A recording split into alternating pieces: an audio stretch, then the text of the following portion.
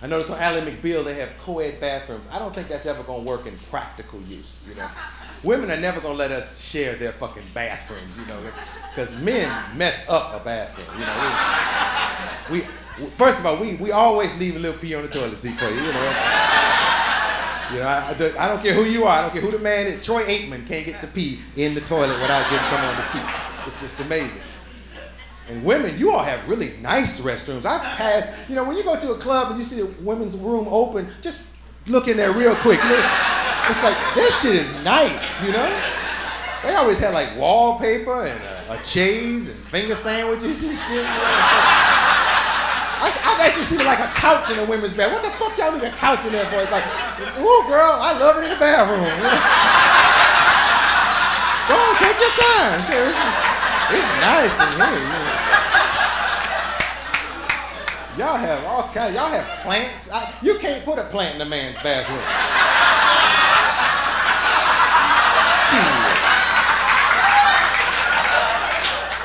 Not if you wanted to live.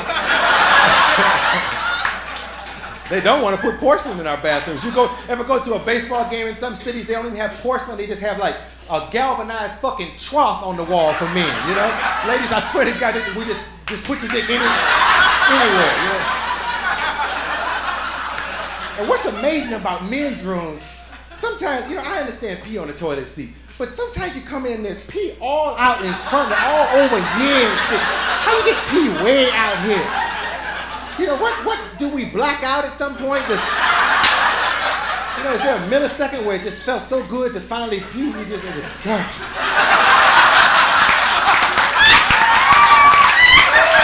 know, cause I see just pee all over. And you can't get to the urinal, you know? It's good. You, you need those handles on the subway in New York so you can lean into that motherfucker, you know? And I was just like, oh shit, it's pee on the smell. oh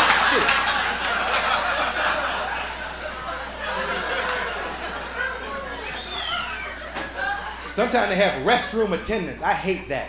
It's just uncomfortable. First of all, I don't know how much to tip them. It just ruins my whole experience. You know, how much to, you know, you know in a restaurant you do 15% or 20%, but in a bathroom, 15% of what? how do you figure that shit out? It's like, Ooh, I owe him $20 maybe. How do you figure it out? Yeah, women are just cleaner than men. That's, that's the one thing we can agree on. Women are cleaner than men. You will never see like a woman with skid marks, for instance, right? that's the truth. you never, but there's a man in here right now with skid marks. Yeah. There's a grown ass motherfucking man here Probably president of a bank or some shit drive a four door Jag, got shit in his drawers right this motherfucking minute. right now. But you never see, see, women take their time. You know, men always in a rush and shit. You know, it's like, and, and, and it's hard to rush in a public bathroom because somebody tightens up the toilet paper roll. You, know, so you only get one sheet of. no, I, I got to go.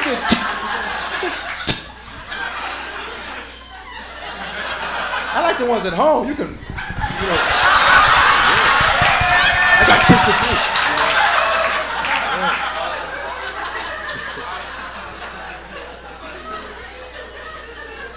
Yeah, I used to have skid marks when I was a kid. My mother broke me of that. Well, when I was like seven years old, my mother, mothers warn you. They all, because mothers do the laundry. You know, mothers will warn you. Look, you better take your time and wipe your ass and, all that. shit. You know, yeah, right, man. Yeah, yeah, yeah. And one day I'm sitting in my bedroom with a girl from my class named Vitella Camper. And my mother doesn't know I have company. And the door is closed. And all I remember was the door flying open. And it seemed like everything else was in slow motion. My mother had a pair of my drawers in her hand.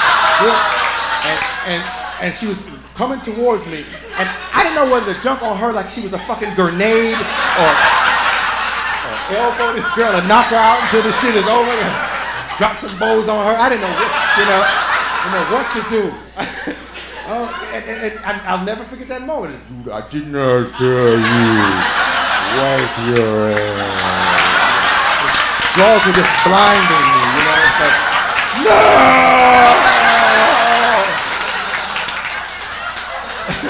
They say your grades follow you all through school. Stories like that'll fuck your life up too. She broke me of that.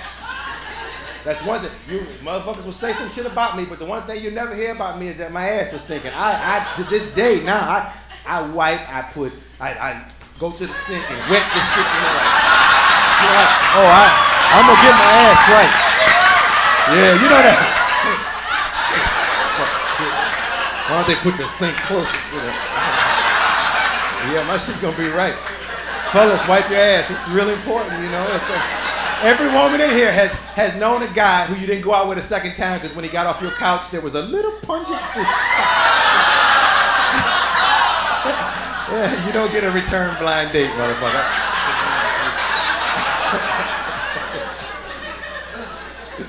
oh my. Thank you.